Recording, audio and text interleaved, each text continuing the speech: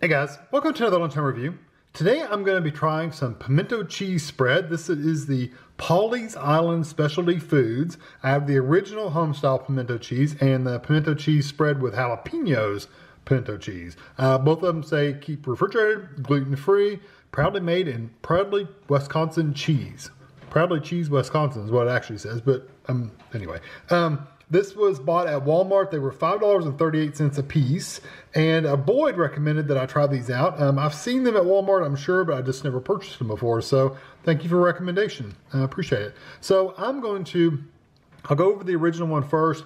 Then I'll talk about the jalapeno one. I'm gonna, you can make this on a sandwich. You could eat it with a spoon if you wanted to, but I'm gonna put it on and my favorite cracker, Ritz cracker. That's what I'm gonna eat it on. Everything's better on a Ritz, right? That's what I always say. So, um, again, these are refrigerated. They're in the refrigerated section near where the, like the sour creams and the cream, not sour creams, where the cream cheese is and the cream cheese spreads. That's where this is at. So 10 servings per container, about two tablespoons is 130 calories, so definitely not a low calorie food. Um, there's the other info. Tami will have a better picture probably at the end, but there it is if you want to see it now. Um, delicious on crackers, sandwiches, hot dogs, hamburgers, quesadillas, scrambled eggs, and, and grits. Try it with pepper jelly too. Hmm, that could be interesting.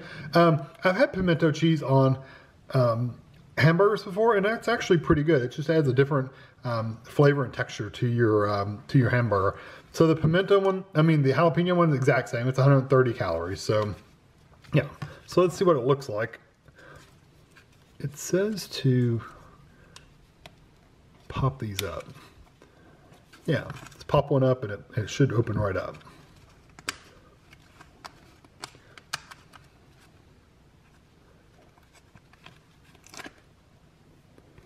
Okay, there's the regular.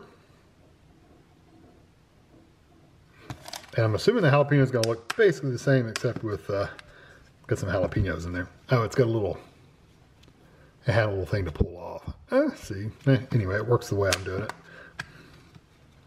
Works just fine. There's the one with jalapenos. Yeah, you can see the jalapeno peppers like right there. So I'm gonna take this over the table, get my Ritz crackers, and I got my knives, and I'll be back.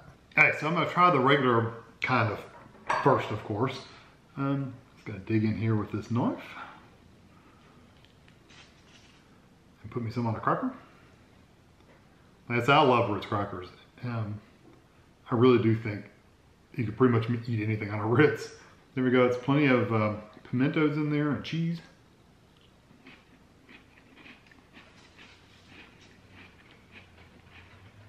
Hmm.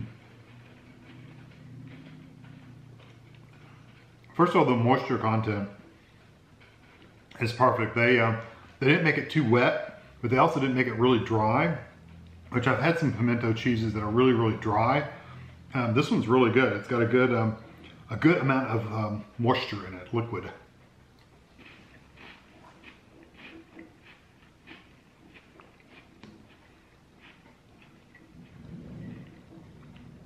I also really like how the um, you get the flavor of the pimentos coming through. Not quite a pickly flavor, but you get you get like a, a little bit of a pickled pepper flavor. It's really, really good.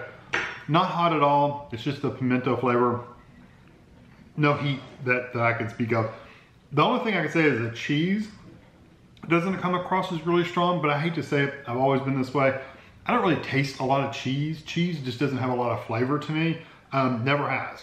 So I really get a lot of pimento flavor and the, of course I taste the cracker. Um, but I also get the, the, the mayonnaise kind of flavor as well. So it kind of has a little bit of a pickly, vinegary kind of flavor, but I don't want you to think it tastes like vinegar. It doesn't. Uh, this is the jalapeno. It's a little bit thicker, like drier than the other one was, but I make sure I got a, a piece of jalapeno in there.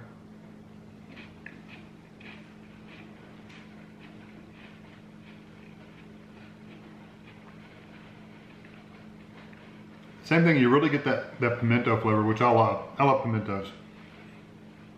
I don't really taste the jalapenos, but I'm getting the heat from the jalapeno. Like it's got a little kick um, in the back of your throat.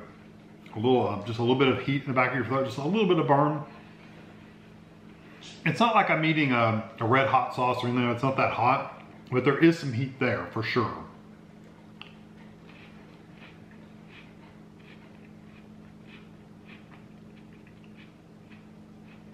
Hmm. I like that too. Again, really good, strong pimento flavor. If you like that pimento cheese, if you want the pimento flavor, you, these are really both really good. Um, the only difference between them is truly the heat level.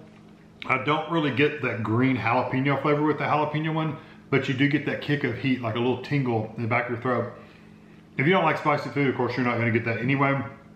But if you don't like spicy food, you wouldn't want that.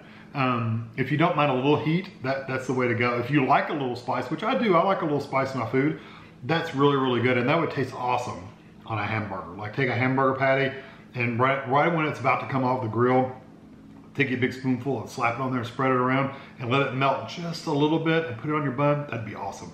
Um, the pimento cheese, the regular pimento cheese is also very, very good. Again, a really strong uh, pimento flavor, so it's, it's got a good flavor to it. And again, I like the moisture content. It's got enough moisture on there to where you can easily spread it, but it's not so wet to where it's gonna soak into your bread or anything like that. So I think it's really, really good. Honestly, they're really good pimento cheese. I wish the cheese flavor came across a little stronger to me. Maybe that's just a meat thing, but but it, it never does. It never does. When we make it at home, it is a stronger cheese flavor, but this particular like purchased cheese never comes across really strong.